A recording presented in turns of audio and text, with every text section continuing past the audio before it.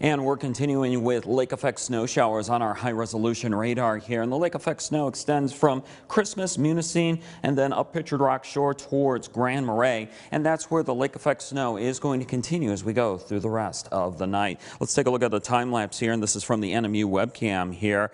And let's see if we can fire this up here. And you can see as we head through the daytime hours this morning, you can see we still had some snow, but by the afternoon hours, we did manage to get into some sunshine, which was very nice.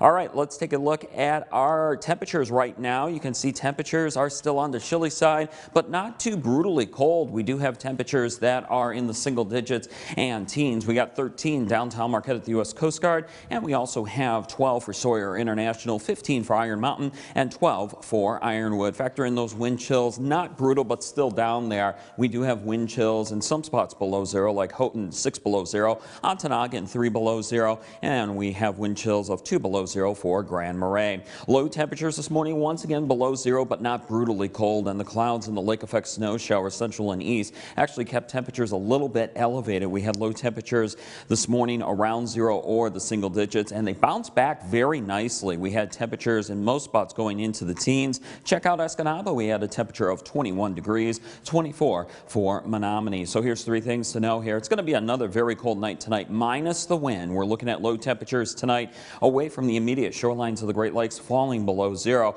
But the big thing through the week, it's going to be slowly warming up. Our next chance of snow showers UP-wide comes on Thursday. Some of those may linger on into the daytime on Friday. And in fact, here's your next seven days here. Lake effect snow with a question mark. That would be mainly for the Keweenaw Peninsula and maybe the shoreline along Lake Superior, Grand Marais to Whitefish Point. Otherwise, for Thursday and Friday, snow showers are possible, and we'll fine tune that forecast as we get into Thursday and Friday on who could see some shovelable snow, and then some lingering lake effect snow showers for Saturday, Keweenaw, Munising Grand Marais. Otherwise, we're looking at sunshine. And then as we go into the daytime on Sunday and Monday, we're looking at a slight snow chance. Temperatures moderating. Your UP Community extended forecast coming up here in just a bit. For tonight, we're looking at the lake effect snow. There they are, the snow showers in the east and also in the Keweenaw. Otherwise, clearing skies. Lows going below zero, perhaps well below zero in some interior west spots, but we're not expecting much wind wind, so the wind chill factor won't be there, and that's why we don't have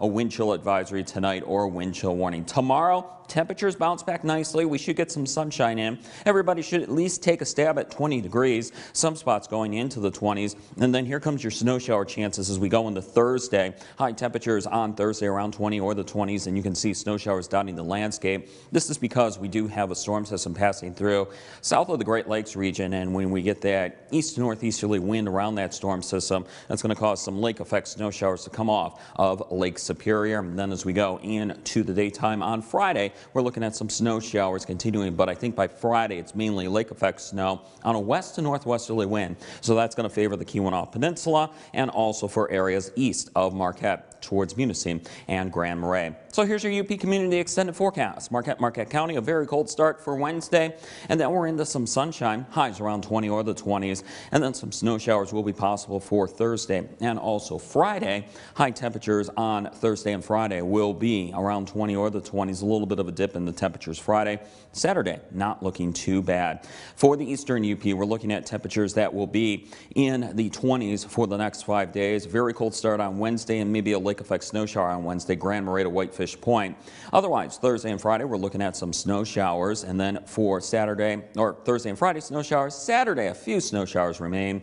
Temperatures in the 20s, perhaps around 30 for Sunday. For Escanaba and Delta County, we're looking at a very cold start, but dry on Wednesday with bright, beautiful sunshine. It's going to feel nice out there. Temperatures in the 20s as well. Some snow showers are possible as we go into Thursday and Friday. High temperatures in the 20s. And then for Saturday and Sunday, temperatures in the 20s to around 30. Only in the interior west, a very cold start for Wednesday. And then as we go into Wednesday afternoon, we're looking at high temperatures around 20.